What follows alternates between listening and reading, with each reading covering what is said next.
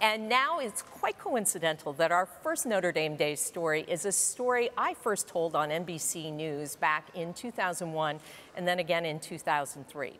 It's a story about a young couple named John and Aileen Crowley and their fight to save two of their children from a rare disease called Pompe. Here's a clip from the 2003 story. Born without the enzyme that breaks down sugar, their muscles are clogged with glycogen, a form of sugar. Over time, weakening those muscles, making it impossible for the children to walk or even breathe on their own.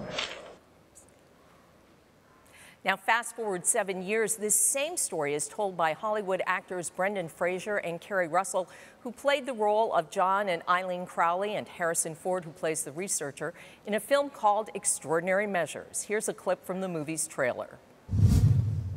It's heart that's the real threat to their lives. How much more time do we have?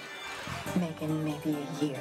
Patrick, less. I wish that we had a drug to treat Pompe, but we simply don't. I'm sorry. Dr. Stonehill. Yeah. This is John Crowley. All the researchers out there say that you're a genius on the verge of a scientific breakthrough. I'm not on the verge of anything. How much would it take to prove your theory? The odds against you are crushing. So where does that leave your kids when the dad has no job and no health insurance? You're right. This is crazy. But I can't just sit around and wait for my kids to die. I promised them that we'd raise 500. That's all? Thousand. Is it 500 or a 1,000? 500,000. And here with me now are John and Aileen Crowley. And I have to say, you know, I get to interview all kinds of people in all walks of life, but I don't think I've ever met two more remarkable, dedicated people in my life than the two of you because what you have done for your children is absolutely extraordinary. And to think here we are 15 years later, we're back together life again. comes full circle, It yes, does, indeed. does. So first of all, welcome to Notre Dame Day. Great It to be is here. it is Yeah, great to for have you here. So let's tell people about your story. We first of all, John, let's start start with your connection to Notre Dame. Did you go to undergrad here? I am a 1992 graduate and of the law school. In fact, Ah, Aileen and I were married between our first and second year of law school. Uh-huh. And so you discovered at some point your two youngest children had this disease called Pompe disease. And for people who may not know, it's an orphan disease. There aren't a lot of people who have this, right? It's like about a thousand. Numbers are really small. More than that, actually. As we Really? continue to learn more about it, it's at least five to 10,000 people live Oh with Pompe. It's a rare neuromuscular disorder. And Aileen, take me back to the moment where the doctor told you that your children had this disease. Right, yeah. Megan was uh, 15 months old, and our son Patrick, that also has the disease, was six days old. And it was just, it was devastating. It was absolutely devastating. And what were the signs that you noticed that suggested something was wrong with Megan? Yeah, Megan wasn't reaching milestones and wasn't, didn't have a lot of strength. Mm-hmm. And so we started doing some testing to, to figure out what was going on. And like we said, it was really difficult to get her diagnosis, you know, six days after we had just had another baby. So- And John, where were you in your career at this point, and what did you do?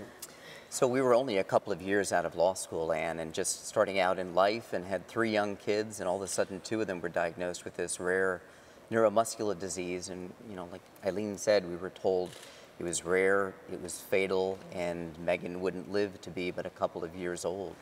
So I, I think very quickly we moved from the, the, you know, the grief, the sadness, and eventually very quickly settling on determination. And you quit your job to find an answer.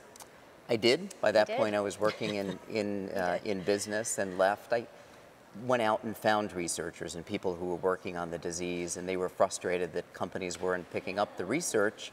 So we partnered with them at, at 31 years old or so, helped to start a little biotech company that would be devoted to developing a therapy to save Megan and Patrick's lives and ultimately the lives of others. And eventually, you, f- you developed an enzyme replacement, so so they, their muscles could process, help process the sugar. That's right. And both Megan and Patrick have had it. How have they done with this?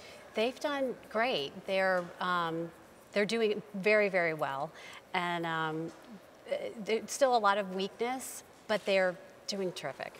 We and couldn't be how well is Megan doing? Megan's doing very well.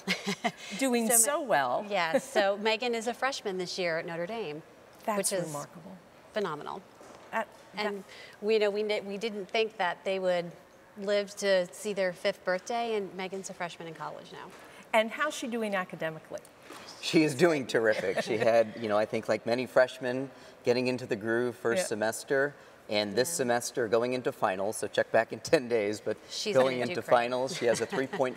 So we're very proud great. of Megan. Oh my gosh, it's Yeah. tremendous. They, they, we were going to say that she hit it out of the park, and I guess she told you she felt it wasn't Yes. really a home run, but a solid double. She said she had a solid double first semester, but a home run this semester. Let's see some pictures of Megan because I think Yeah, she's you, know, doing you awesome. already we already did show the pictures. There we are. There's Aileen and Megan, and it's just Yes. it is just a treat. Do you think it would be possible for her to go to school anywhere but Notre Dame?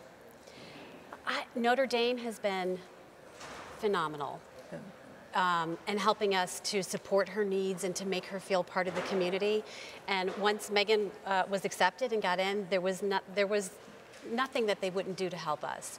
And because it's very, it was a difficult move for us to send Megan here with nursing and, and um, the medical supplies and things that she needed. And Notre Dame has done an unbelievable job in helping us transition her into this. Well, we're so glad that Megan is here, and the two of you are absolutely the epitome of the spirit of Notre Dame. Congratulations.